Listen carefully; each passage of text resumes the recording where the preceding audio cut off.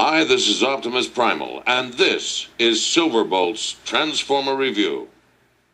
Afternoon, everybody. This isn't your video. This is my video.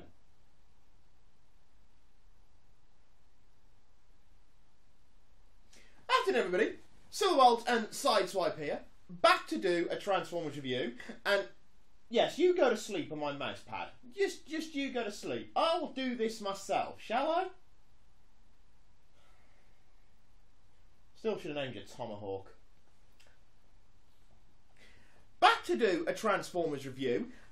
And for those of you who paid attention to my Facebook page, because I'm not on Twitter, Matt, because I, and not, I don't want to be, we are going to be doing. See, uh, no, no, no, no. Uranos. Not made by TFC. Yes, it is made by TFC. I can't remember.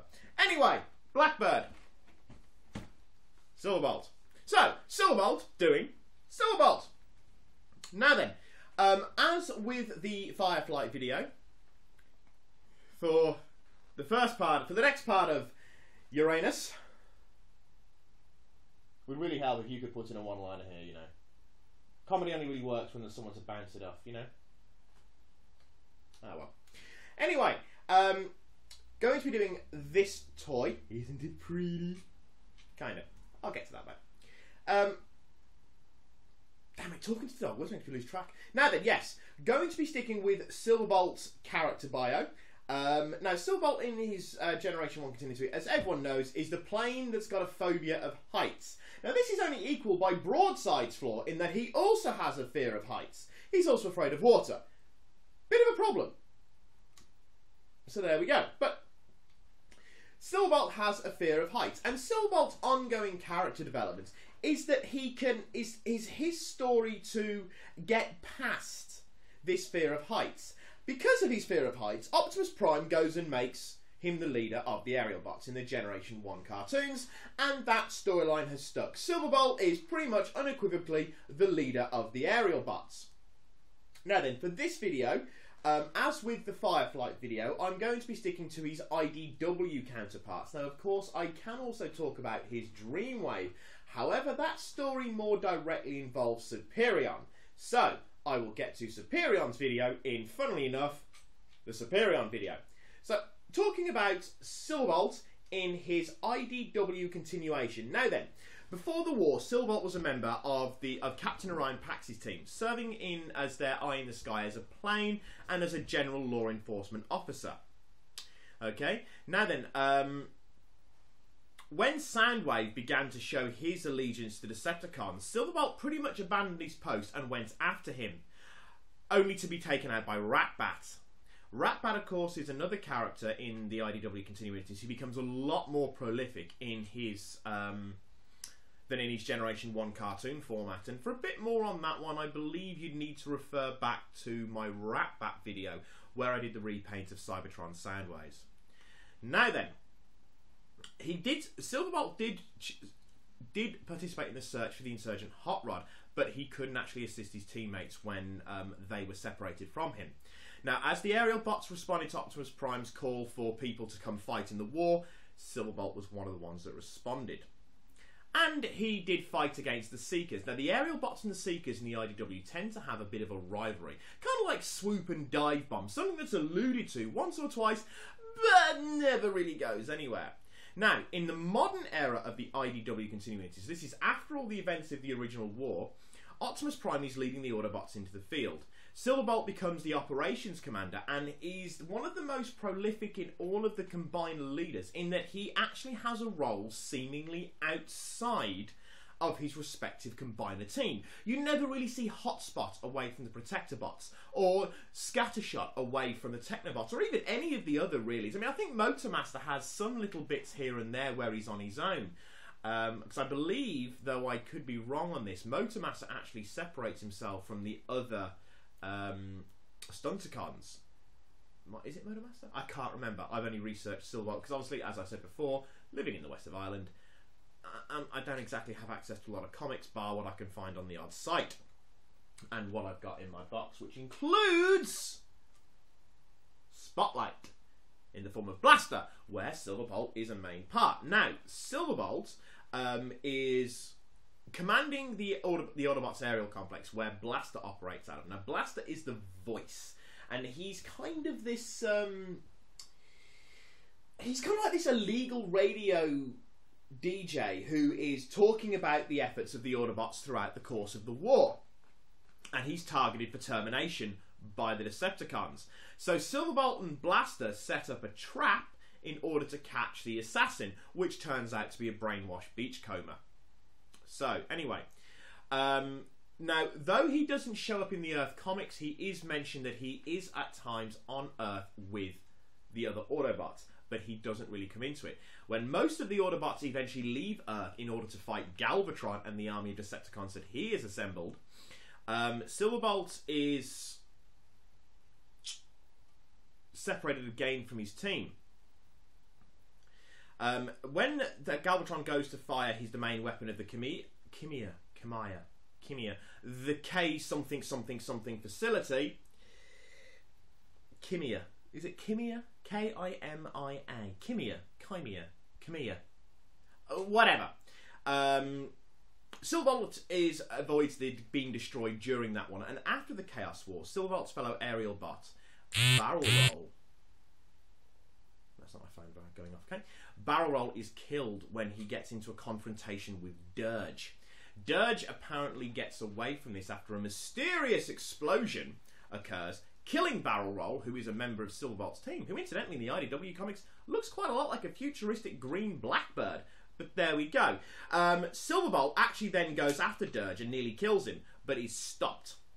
Um, under the orders of Bumblebee's government, mainly because they're trying to stop further hostilities. And if there's a direct conflict where it's a proven fact that an Autobot has been deliberately aggressive against a Decepticon, it will happen again. Now, um, after this event's happened, Silverbolt gets rather annoyed with Autobot High Command, and he basically he feels an awful lot alongside um, other other Autobots. I won't go into who because it's a long list, and frankly, I don't actually know that much about it. Um, Silverbolt decides that he and the other aerial bots are going to go off into the untamed wilderness. However, they st- the other aerial bots, not including Silverbolt, start losing their minds, and Silverbolt's not affected by it, and he believes it because he never truly felt part of his team. Slingshot, of course, has always been antagonistic towards Silverbolt, so he's always felt a little bit of an outsider, despite the fact that he's the leader. One of the genuine burdens of command of being raised from the ranks. You know, you're no longer one of the boys. And Silverbolt has never quite really adapted to this, would be one way of interpreting his roles within the comics. Now, Silverbolt separates from the other aerial bots. Again, this is a running theme with Silverbolt in that he seems to come in and come out of the aerial bots pretty much as he goes. Unlike, as I said, the other Autobots, uh, well, even the Decepticon combiner teams, who are pretty much always on their own. Uh, sorry, are always with their other groups. Um, so when Silverbolt does actually meet back up with the other aerial bots, he does find them. Um, he does seem to find that he's starting to be affected, whatever it is that's actually affecting the other Autobots. And that is pretty much where that story of the line ends until Ironhide later comes out into it. And he's been sent out to find the other aerial bots. And he actually does come across Silverbolt. Um, however, by the time he has located all of the aerial bots, they have all merged into Superion. That's something where I'm going to stop Silverbolt's story there, pretty much as is. Uh, mainly so that when it comes to me doing the Superion part of this review, of this video, um, we are going to see. Um, uh, it'll give me more to talk about for Superion rather than just these five parts go like this and oh, isn't he pretty and cool? I think Count Van Ball's rubbing off on me. That was unbelievably camp. I take it I'm doing this completely on my own now, dog. Yeah. She's gone to sleep when I set it on the chair beside me. Useless bin. Anyway onto the toy. Now then, the first thing we are going to have to mention in regards to this toy is, of course, he's a blackbird. Yes, he is a SR-71 Blackbird. He is not Concorde. Now, why is that? Well, I did actually dig that out in preference to doing this review. Ooh, sorry, I've got my Sky's transferring over today, so I'm getting rid of that other company that I'm with, which is terrible, and moving on to Sky. And I've just noticed that the, the little internet symbol on my Sky hub box has gone white, which means I now have proper internet. At the moment, I'm actually using my phone, which isn't a good thing to be using as a hotspot, but there we go. Um, so I can turn off that, and then I can go back to playing Neverwinter after I've done this video. Um, anyway, so yes, now the reason that um, Silverbolt in this form is a blackbird, and he's white, the reason he has done this is because apparently it was due to scale. One of the biggest problems that we always had with a lot of the combiner teams was that they were horrendously out of scale with each other. Um, when it comes, um, is that sorry that they were horrendously out of scale with each other, and the aerial bots were one of the biggest offenders for this. You've got the likes of Concorde, which is a huge, massive, ridiculously long. I think it's from like a seventy-foot plane it's seventy feet long. You know that the plane is is you know you know it's what must be twice the length of my house. Is it seventy foot or is it seventy? No, it wouldn't be seventy meters. It wouldn't be seventy bloody meters. Anyway, either way, it's feffing big. Um, compared to the likes of Harriers and F-15s, which make up the other um, planes that are within the aerial bots, it's woefully, woefully overrepresented. So they've changed it to the Blackbird, which is only about half the size of a, of a Concorde, despite the fact that he's white. I suppose it also brings people's mind into um, Jetfire from Revenge of the Fallen, but the less said about that awful piece of tripe, the better. Okay, so then, onto the plane. Right, that's this plane that comes with it, but we'll go into the other thing that comes with it first. Namely, F-47 Phantom Ray. This guy, who is basically a stealth bomber, um, who's another little robot that comes with the Superion toy and forms the chest plate to... Sorry, comes with the Silverbolt toy and forms the chest plate to Superion. Now then, um, when I first saw the promo pics of this guy, I didn't like him that much. But now that I've got him in my hands, and I've had, you know, the requisite fiddle around with him and play around with him for a little, not much bigger than a Legends class. He's actually a really, really nice little toy. He's really quite funky. Um, I named him. Um,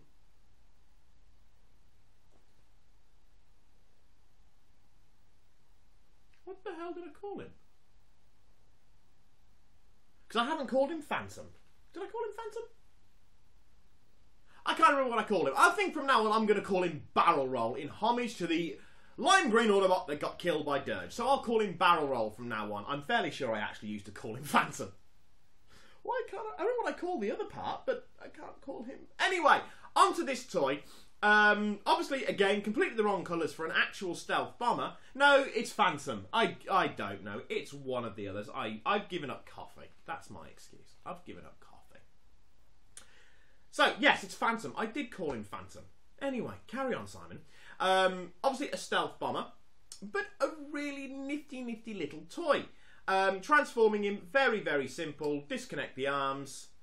Um, pull down the chest piece so that it sits flush. Turn the head round. Fold out the legs. They're all on ball joints, so they just twiddle and fiddle into place. Unfold the feet like so. Get the arms into positions you need them to be in to be accurate, and they bend at the elbow.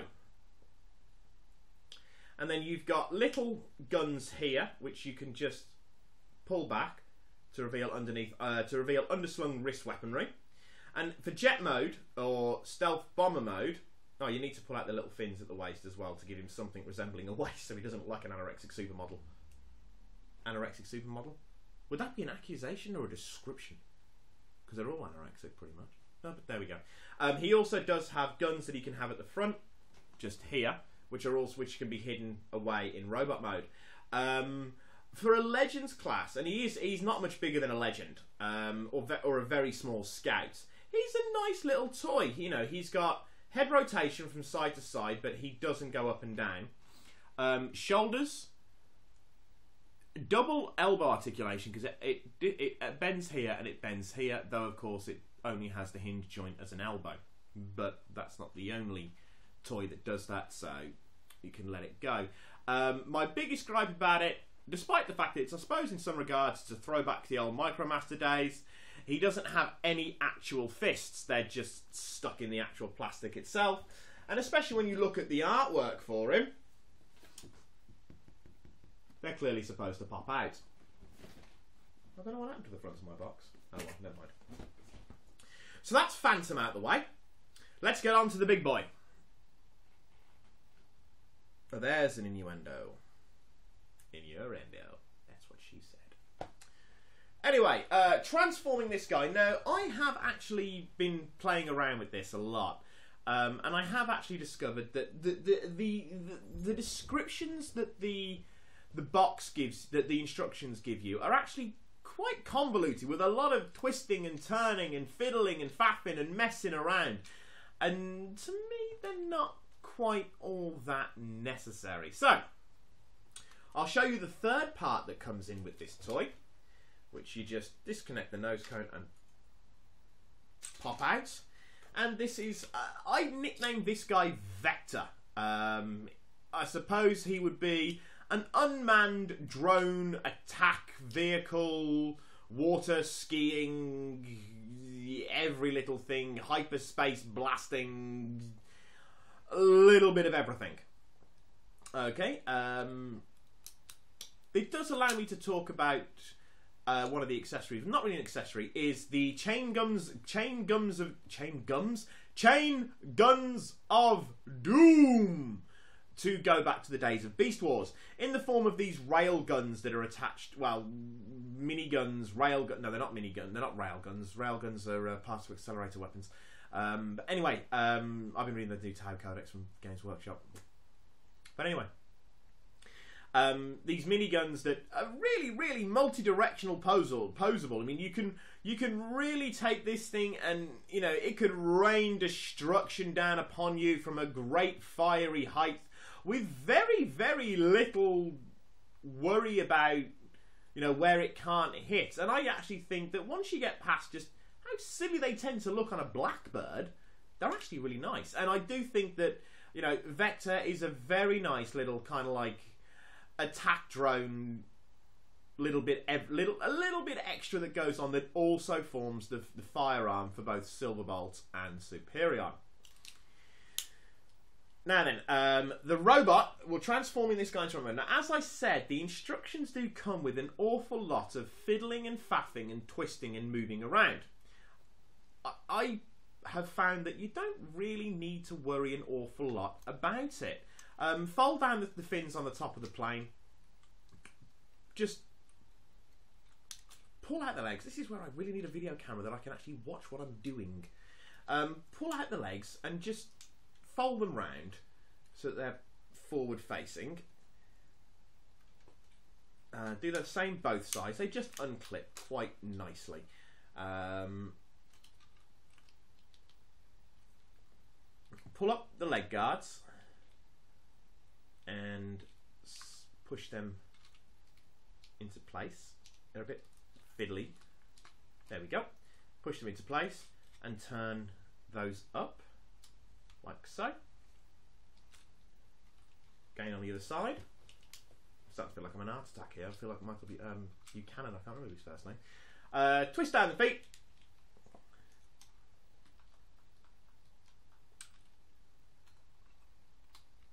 Chest piece. Uh, tend to just turn the missiles, secondary landing gear out, whatever, whatever, whatever, whatever. Uh, on the back, you've got a piece at the top and the bottom which just fold down. So he looks less like he's having a skirt. Just pull out the, the jet engines.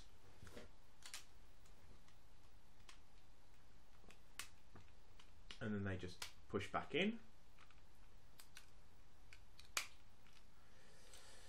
And you just pull them out, turn the head, push in the two little flaps on either side of the head, twist the arms round, and the hands are just inside here.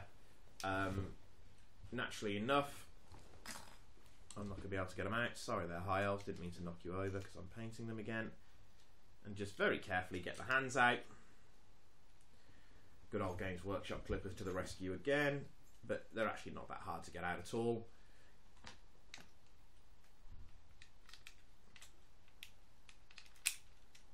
Just make sure everything is folded and in the right way. Uh, as I said, the instruction manual was a lot more complicated than it actually needed to be. And now here we have Silverbolt in robot mode. Now, one of the things I'm going to address whilst I've got him like this is everyone says he's so big. He's absolutely massive and his torso chest area seems unproportionate. Now, I can say I would agree with that. I do think that's true. But you can at least give the give an illusionary effect that he's smaller by pushing in these parts here and the chest guards, which are the same on Sixshot in all fairness, they're completely pointless because that happens. Just push them forwards so they're poking out a little bit. Or just have them pointed downwards to hide them even more, or even turn them in and around, which really does help narrow him down. Now, the other problem that people have with this toy is this. Oh, sorry, is this is these massive jetpack boosters. Well, I know, you know, eh, okay, yes, it does tend to make them kibble, but you can just pull them off. You know, you can gripe and moan about it, but they do just pull off. So you can make him look much, much, much slimmer. In that regard, I think he looks a little bit too. I think he looks a bit out of proportion, actually. But so the way I tend to favour it, which is um, the way I tend to do it, is leave the jetpacks on. Let me just get them in properly, and just fold them back a bit, a little bit.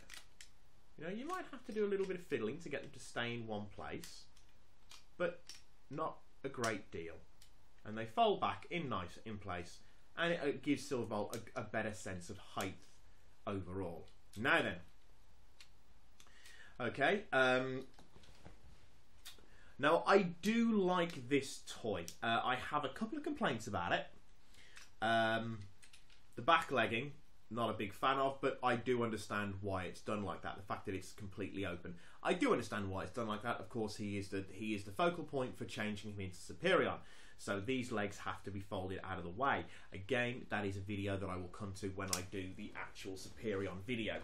Um, I really hope that I haven't just chopped off the front half of my head while I've been displaying this talking to the camera, because that's what I managed to do on my Thundercracker review, which I have got my Masterpiece Thundercracker review, which I have got recorded um, I just haven't uploaded it. But anyway, um, I don't like that. Um, he has no, he has full wrist articulation. However, I have noticed they're very, very easy to just pop out of place, and that's not me and my usual heavy-handedness snapping masterpiece Megatron in half. They just tend to pop out of place really, really easily. Uh, so you've got to be careful with that because obviously you don't want to break them. They do just push back in, but still, I'd rather not. I don't want to run the risk of damaging, you know, quite an expensive toy. Um, other than that, I think he's very, very nice. Unlike Fireflight, his light piping actually serves a purpose in that he doesn't have a great big cone at the back of his head to completely block it. Head, um, good posability, has some has some up and left and right, not so much by way of down.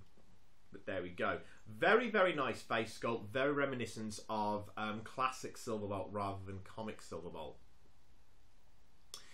Um, um, shoulder articulation, wrist articulation, uh, elbow articulation, wrist articulation, all very good and nice.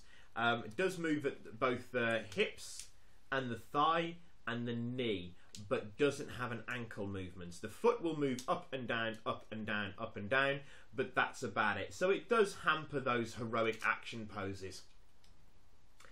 Overall, a very nice toy. In the chest piece, which is another form of complaint that some people have in that it's too bulky, is Superion's head. Um, and you just you folded down. I haven't quite figured out completely how you sort it out completely, but I haven't really looked at them turning into Silverbolt instructions yet.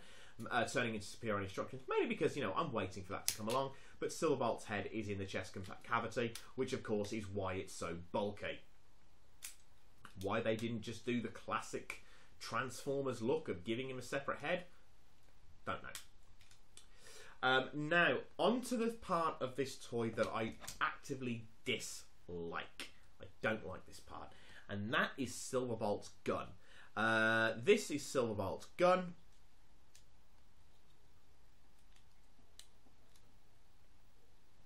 Sorry, just transforming it here. However you want to have the chain guns of doom, I don't know. And that. That is Silverbolt's gun in one configuration. You can have it in different configurations if you really want. Sorry, I just heard the dog going at something. I was worried he was going to the carpet. Oi! There we go. Puppies.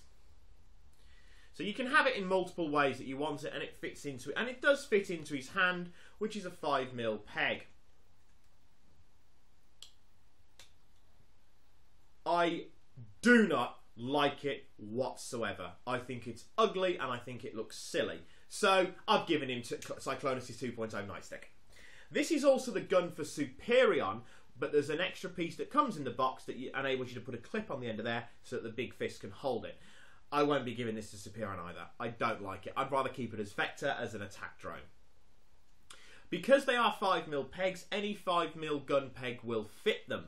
Um, so as I said, I've been using Cyclonus's 2.0 nightstick. If I had a choice though, I'd love to get, I believe they're called the Master Shooter Target Masters, which are a bit more posable, and consider the fact that they are, you know, third-party representations and a bit more posable of, of Generation 1 Target Master toys, I'd quite like to get my hands on some of them. Um, but is the main place I've looked and I can't really see them, and if I get them from outside the EU, Irish importation law costs me a fortune. When I got, I got, I bought Masterpiece Soundwave off um, eBay, and I got it from China, and I paid a hundred no, I didn't even pay. I didn't even pay a hundred sterling for it, and I got whacked with a forty euro import charge. So I learnt my lesson. Sorry about that. Don't know what happened. Um, my camera randomly got shut off. I don't know why. But anyway, as I was saying, a third party has made a five gun kit which fits all five of the aerial bots and then combines together to form a large gun for Superion. But lo- all the reviews so far that I've seen says that it's cheap, nasty plastic and don't bother with it. So either give him a spare gun or don't give him anything, or you can even technically use the jet pipes for weaponry if you really, really wanted to. But again, they suffer from the same problem of oversized penis envy.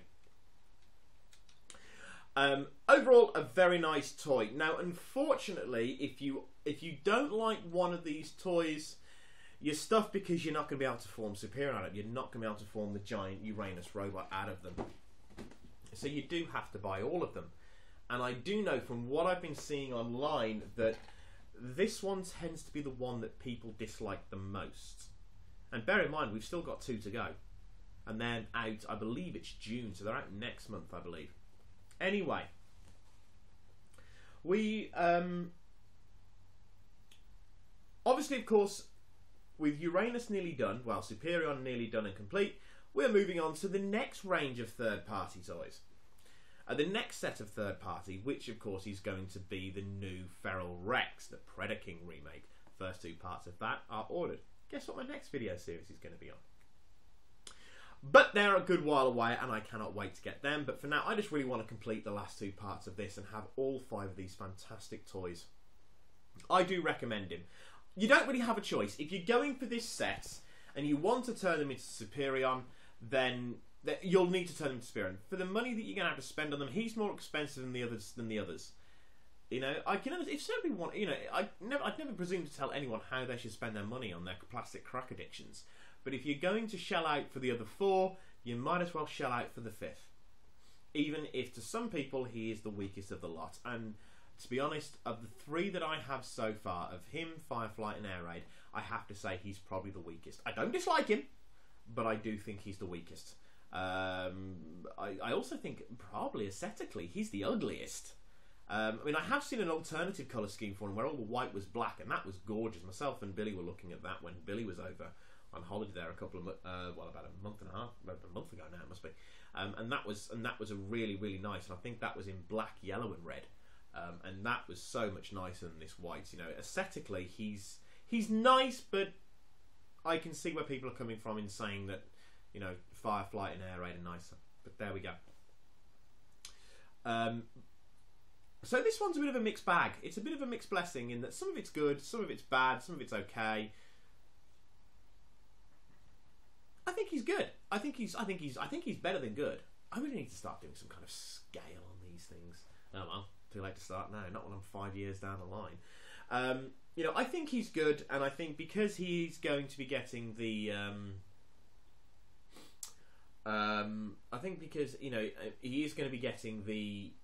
He's going to be part of the fifth set, and I think when they're all together, they will look the nicest. But I do think aesthetically, he's probably the worst. I know even though, and I know I shouldn't judge because I haven't got the other two, and I haven't really even seen any proper promo pics for them. But there we go. Um, there you go. So for those of you who thought that me doing third party Silhouette was meant I was going to do nothing with Fangasm the entire time, no, here on my channel I do at least try occasionally to be objective, except when it's really funny not to be. So for now, this is Silverbolt with Silverbolt. I do like saying that, even though I've only ever been able to say it, I think it's twice before. But Silverbolt with Silverbolt, Phantom, and Vector Star Wars pod racer thing. I'll stick to calling him Vector once I get him out of that silly gun mode. Uh, signing off, saying au revoir, adios, I'll be Wiedersehen. Oh, one thing I never mentioned price. Yeah, I know I did. I said he's a bit more expensive than everything is. Yeah, bye bye. I'll end it.